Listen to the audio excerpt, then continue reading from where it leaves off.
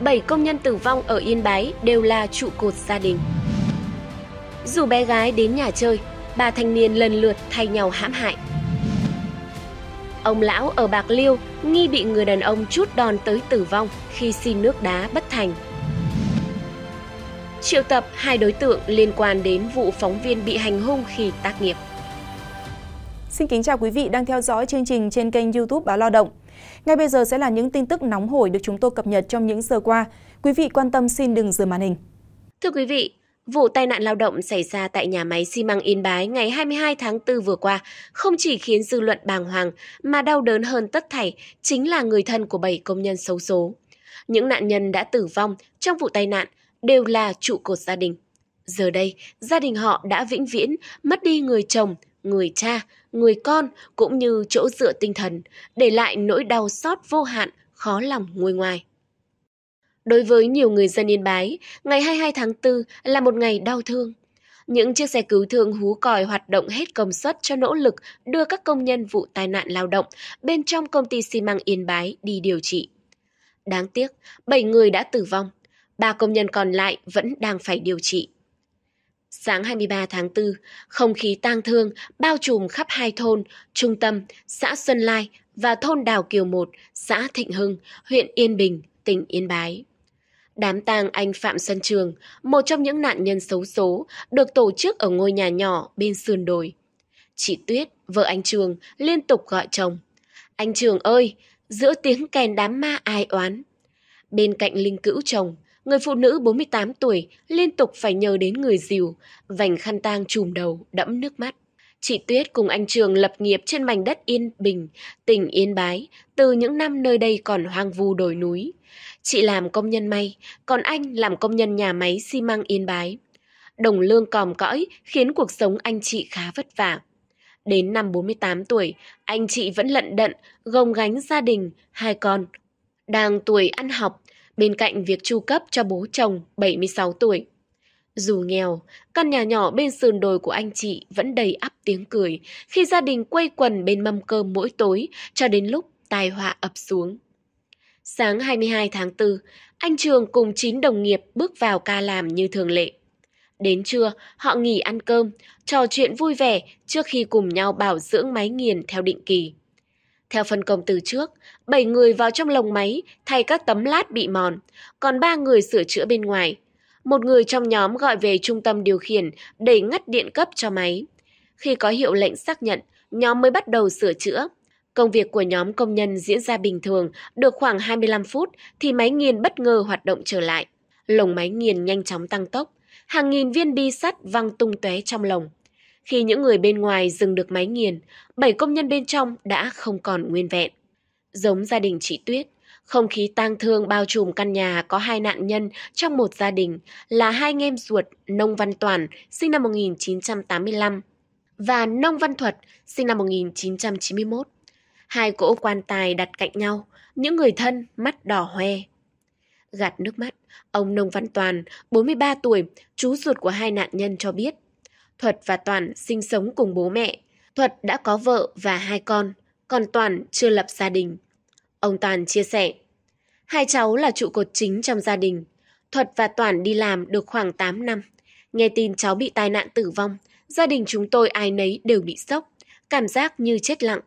Cú sốc này quá lớn đối với gia đình tôi, quá đau xót khi cùng lúc mất đi cả hai người thân của mình. Thương các cháu vô cùng vì còn con nhỏ, bố mẹ già không biết trông nhờ vào ai.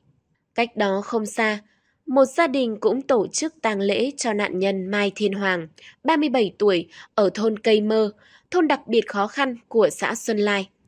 Nơi tổ chức tang lễ là căn nhà sàn xây dựng sơ sài, phần mái được lợp bằng tranh đã xuống cấp. Ngồi khuất giữa đám đông, ông Mai Văn Châu, 57 tuổi, chú ruột nạn nhân Hoàng, nghẹn ngào. Ngay khi nhận được tin Hoàng không may tử vong do tai nạn lao động, tôi gần như chết lặng, chân tay bùn rùn. Hoàng chưa lập gia đình, ở cùng mẹ, hoàn cảnh gia đình khó khăn nên Hoàng đi làm từ sớm. Nghe tin con mất, mẹ Hoàng ngã quỵ tại chỗ.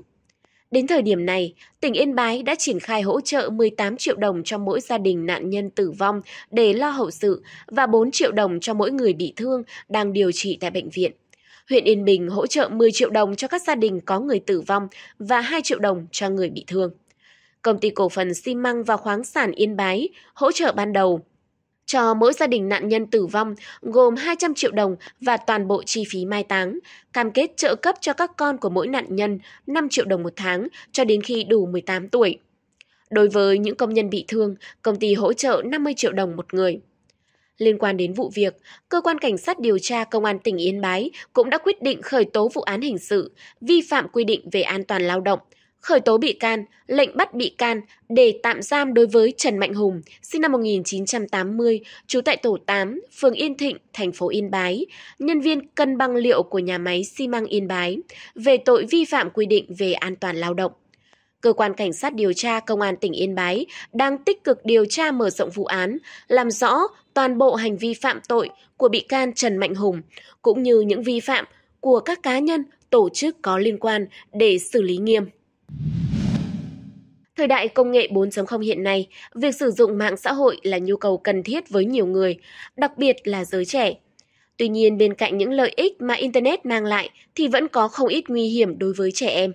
Một trong những mối nguy hiểm đó là nguy cơ trẻ em gái, các thiếu nữ non trẻ có thể bị lợi dụng bởi những kẻ có ý đồ xấu. Mới đây, tại tỉnh Con Tum đã xảy ra trường hợp như vậy. Ngày 24 tháng 4, thông tin từ Công an tỉnh Con Tum cho biết, cơ quan cảnh sát điều tra vừa ra quyết định khởi tố vụ án, khởi tố bị can và lệnh tạm giam 3 đối tượng để điều tra về hành vi dở trò đồi bại với một bé gái sinh năm 2011. Theo kết quả điều tra, khoảng đầu tháng 3 năm 2024, thông qua mạng xã hội Facebook, cháu N, sinh năm 2011, trú trên địa bàn tỉnh Con Tum, có quen biết, nhắn tin qua lại với đối tượng tên H, sinh năm 2009, trú cùng địa phương, rồi trở nên gần gũi, thân thiết. Cuối tháng 3 năm 2024, H nhắn tin cho cháu N và mời đến nhà chơi. Lúc này tại nhà hát còn có M và D cùng sinh năm 2009 và trú tại địa phương. Khi cháu N xuất hiện, các đối tượng đã kéo N vào trong nhà của Hát rồi thay nhau thực hiện hành vi đồi bại với nạn nhân. Tại thời điểm này, cháu N chưa đủ 13 tuổi. Sau khi tiếp nhận đơn trình báo của gia đình cháu N, lực lượng chức năng đã vào cuộc điều tra, xác minh và lấy lời khai của các đối tượng. Căn cứ vào những tài liệu thu thập được, Phòng Cảnh sát Hình sự Công an tỉnh Con Tum đã quyết định khởi tố vụ án, khởi tố bị can và bắt tạm giam ba đối tượng trên. Vụ việc đang được cơ quan điều tra tiếp tục xác minh, làm rõ để xử lý theo quy định. Xin được chuyển sang thông tin khác. Ngày 24 tháng 4, tỉnh Bạc Liêu xảy ra một vụ án mạng mà nguyên nhân được cho là rất nhỏ nhặt. Trông thấy một người đàn ông vào nhà xin nước đá uống, ông lão 68 tuổi ở thị xã Giá Rai nói không có nước đá, liền bị người này xông vào hành hung. Đến khi người nhà phát hiện thì ông lão đã tử vong. Ngày 24 tháng 4, Ủy ban Nhân dân xã Phong Thạnh Đông, thị xã Giá Rai, tỉnh Bạc Liêu cho biết, Công an tỉnh Bạc Liêu đang điều tra làm rõ nguyên nhân khiến ông TVT, 68 tuổi, ngụ ấp 12, tử vong. Theo thông tin ban đầu, vào khoảng 20 giờ tối hôm 23 tháng 4, một người tên TVG, 37 tuổi, ngụ cùng xã Phong Thạnh Đông, vào nhà của ông T xin nước đá uống. Lúc này ông T nói nhà không có nước đá, chỉ có nước nóng, thì bất ngờ G xông vào chút đòn lên ông T rồi ôm nạn nhân vào nhà. Đến sáng 24 tháng 4, người nhà phát hiện ông T tử vong nên trình báo công an. Ngay sau khi nhận được tin báo, cảnh sát tiến hành khám nghiệm hiện trường, khám nghiệm nạn nhân điều tra vụ việc. Kết quả khám nghiệm xác định, ông T tử vong do tác động ngoại lực dẫn đến gãy be sườn đâm vào phổi. Hiện đối tượng G đang bị tạm giữ hình sự để phục vụ điều tra. Liên quan đến việc hai phóng viên bị hành hung khi đang tác nghiệp tại hiện trường vụ cháy xưởng gỗ tại thôn Việt Yên, xã Ngũ Hiệp, huyện Thanh Trì, thành phố Hà Nội gây xôn xao dư luận. Chiều 24 tháng 4, cơ quan cảnh sát điều tra công an huyện Thanh Trì đã triệu tập hai đối tượng có liên quan, gồm Đỗ Mạnh Hoàng và Trần Văn Đức để làm rõ vụ việc.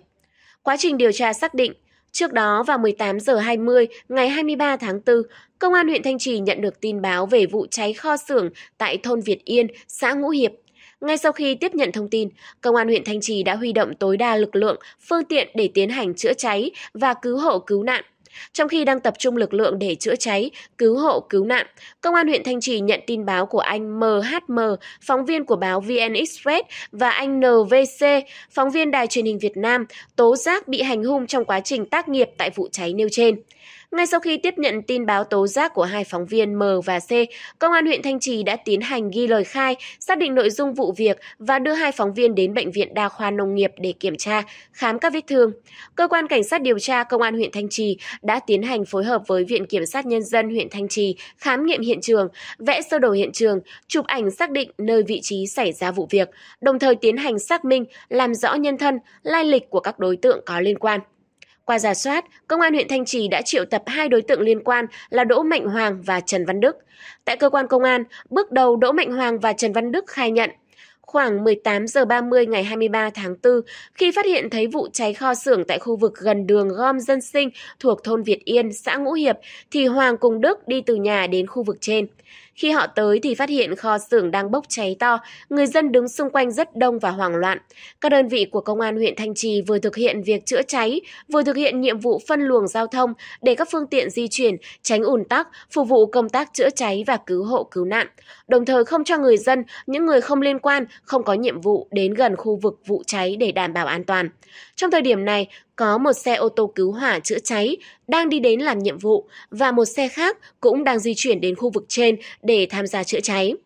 Thấy vậy, cả Đỗ Mạnh Hoàng và Trần Văn Đức tự nguyện tham gia hỗ trợ, phối hợp cùng với lực lượng công an phân luồng giao thông, yêu cầu những người dân, người không liên quan, không có nhiệm vụ di chuyển khỏi khu vực xung quanh vụ cháy để đảm bảo an toàn. Quá trình tham gia phân luồng giao thông và hướng dẫn người dân không đến gần vụ cháy, thì Đỗ Mạnh Hoàng có ngăn cản một người đàn ông xưng là nhà báo tác nghiệp quay phim ghi hình, xác định là phóng viên M.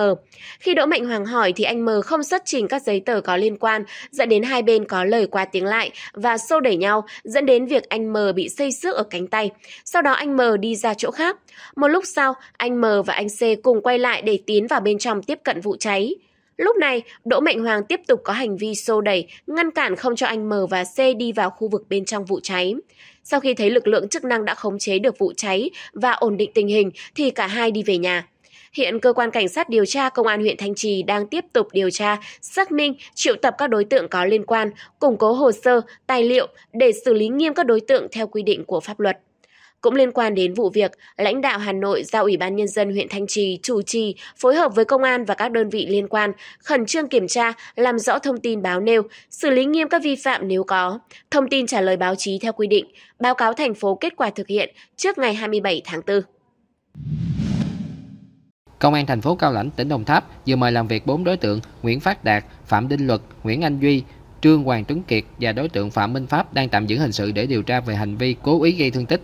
Tại cơ quan công an, đối tượng Phạm Minh Pháp khai nhận vào khoảng 21 giờ tối ngày 20 tháng 4, Pháp rủ các đối tượng Đạt, Luật, Duy, Kiệt mang dao tự chế chém một người tên T ở thành phố Sa Đéc để giải quyết mâu thuẫn. Tuy nhiên người bị chém không có liên quan đến mâu thuẫn từ trước, nên sau đó đối tượng Pháp đến cơ quan công an đầu thú. Hiện vụ việc đang được cơ quan công an tiếp tục điều tra làm rõ, xử lý theo quy định của pháp luật. Năm 2024, kỳ thi đánh giá năng lực do Đại học Quốc gia Hà Nội tiếp nhận 104.575 lượt đăng ký dự thi. Kỳ thi diễn ra từ ngày 23 tháng 3 đến ngày 2 tháng 6 năm 2024 tại 11 tỉnh thành. Ba đợt thi đầu tiên tổ chức trong tháng 3 và tháng 4 năm 2024, phục vụ 50.742 lượt thi tổ chức tại 10 trên 11 tỉnh thành.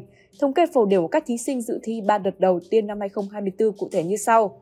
Điểm cao nhất của kỳ thi là 129 trên 150 điểm, điểm thấp nhất là 17 trên 150 điểm, theo thống kê ban đầu, mức điểm lớn hơn hoặc bằng 110 chiếm tỷ lệ gần 1%, mức điểm lớn hơn hoặc bằng 100 điểm chiếm 5,4%, mức điểm lớn hơn hoặc bằng 90 điểm khoảng 18,1%, mức điểm lớn hơn hoặc bằng 80 điểm có 41,8% và mức điểm lớn hơn hoặc bằng 75 điểm có khoảng 56,4%.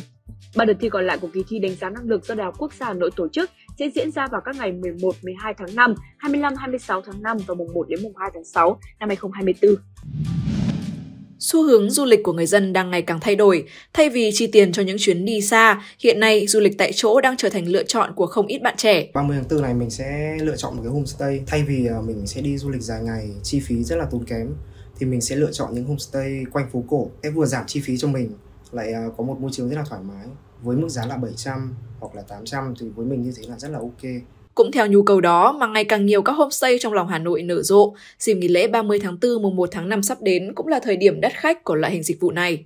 À, hiện tại à, trong năm nay thì lượng khách à, ở bên homestay mình đang khá là nhiều người Việt cũng như là xen lẫn một chút là người nước ngoài nhưng mà là người Việt vẫn là chủ yếu hơn vì à, à, các đôi bạn các bạn trẻ rất là thích ở homestay trong phong cảnh từng phòng nó khá là đẹp cũng như là đầy đủ tiện tiện nghi các bạn có thể ăn uống nướng ở ngoài trời cũng như là có phòng ờ, tập thể cũng khác gì một cái villa ở các tỉnh cả, mà chi phí nó lại còn tiết kiệm hơn. Cái lượng booking của năm 2024 đã tăng 15 đến 20%.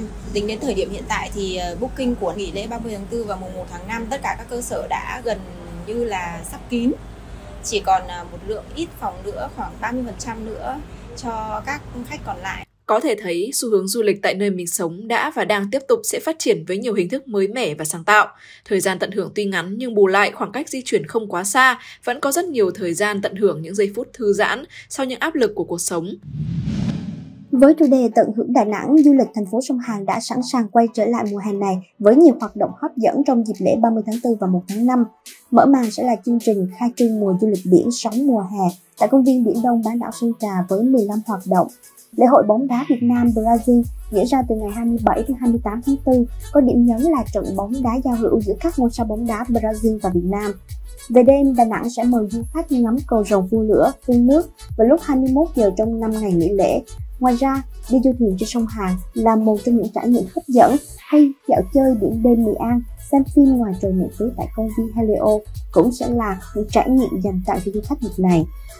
Du khách còn có thể khám phá Đà Nẵng bằng tàu lửa với đoàn tàu du lịch kết nối di sản miền Trung đi từ Huế và Đà Nẵng và ngược lại. Dịp này, các cơ sở lưu trú du lịch cũng có những chương trình khuyến mãi giảm giá dịch vụ cho khách lưu trú. Việc làm luôn là nỗi chăn trở các sinh viên khi ra trường, trong đó sinh viên sư phạm cũng không ngoại lệ. Với 4 năm được đào tạo các kiến thức chuyên môn, nhiều sinh viên Đại học Sư phạm Hà Nội tiết lộ mức lương mong muốn khoảng trên dưới 10 triệu đồng. Bởi vì ngành của bọn em là uh, sư phạm vật lý, dạy lý bằng tiếng Anh. Thế nên là chúng em rằng là mong rằng là ra trường này chúng em uh, sẽ có được một cái vị trí ở trong một trường uh, quốc tế nào đó hoặc là sẽ dạy uh, science ví dụ như em đang học uh, khoa vật lý uh, dạy lý bằng tiếng Anh nên là em mong là mình sẽ có thể có được uh, một cái công việc dạy một môn khoa học mà bằng tiếng Anh với một cái mức lương uh, khoảng từ uh, 10 đến 15 triệu. uh, mức lương khởi điểm mong muốn của em là 8 triệu đồng và cái uh, uh, em cũng cũng mong muốn là cái con số ấy sẽ có thể uh, tăng lên uh, trong tương lai uh, tùy phụ thuộc vào cái uh, kinh nghiệm cũng như là cái kỹ năng của bản thân để đạt được mức lương mong muốn, không chỉ nắm chắc các kiến thức chuyên môn, các nhà tuyển dụng mong muốn các sinh viên sư phạm khi ra trường cần có thêm những kinh nghiệm cũng như các kỹ năng thực tế. Sinh viên sư phạm thì uh, theo tôi thì uh, có nhiều ưu điểm. Ờ, thứ nhất là các em ờ, được học ờ, rất là bài bản. Thứ hai là ừ, các em hiểu được tâm lý của học sinh. Thứ ba là các bài giảng của các em rất là cô động, dễ hiểu và ừ, các em yêu thương học sinh à, điểm mà các em mới ra trường thì thường gặp phải đó là các em chưa có nhiều kinh nghiệm à, và cũng như là khi mà vào với các cái môi trường ờ, giáo dục ví dụ như trường Tạ Quang Biểu thì các em sẽ được ờ, dạy và học với các thầy cô có nhiều năm kinh nghiệm nên nhiều khi các em cũng hơi bị ngợp. Vì nhà trường sẽ rèn kèm cặp cho các em để các em có thêm các cái kinh nghiệm các cái các thầy cô sẽ hướng dẫn thêm để các em ngày một trưởng thành. Ngay từ khi còn ngồi trên ghế nhà trường, các sinh viên cần được làm quen, tiếp cận với các nhà tuyển dụng để từ đó tiếp tục hoàn thiện các kỹ năng cần thiết để bản thân vững bước trên con đường sự nghiệp, trở thành những người thầy, người cô trong tương lai. Tại khu vực phía Tây Bắc, nút giao đường Võ Văn Kiệt và Võ Nguyên Giáp, quận Sơn Trà, các linh vật rồng, tiểu cảnh trang trí, tập kết ngổn ngang, nhiều rác thải bao quanh. Có những linh vật đã bị hư hỏng, nhiều chi tiết bị gãy, tháo rời. Một số khung sắt trang trí cũng đã hoen rỉ do phơi mưa, phơi nắng trong thời gian qua. Theo một số người dân ở đây cho hay, khu vực này gần biển, nhiều khách sạn và điểm vui chơi, nên mỗi ngày có rất nhiều du khách qua lại. Việc tập kết các linh vật trang trí tại đây và để lâu ngày gây hư hỏng mà không có kế hoạch cụ thể tạo nên hình ảnh không đẹp đối với du khách khi đi ngang qua khu vực này.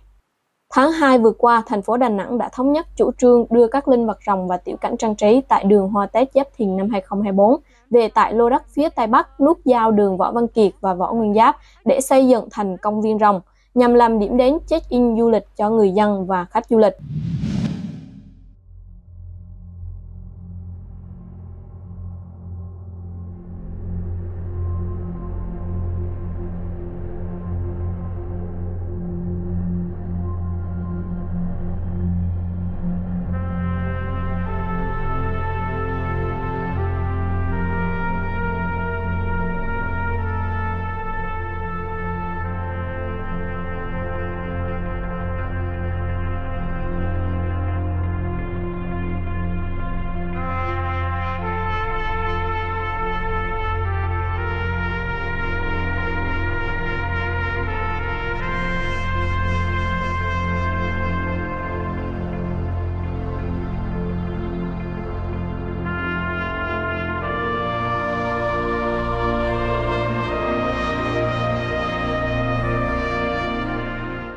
Đến đây thời lượng của chương trình đã hết. Cảm ơn quý khán giả đã quan tâm theo dõi. Đừng quên nhấn đăng ký kênh youtube Báo Lao động để cập nhật những tin tức mới nhất. Còn bây giờ xin kính chào và hẹn gặp lại.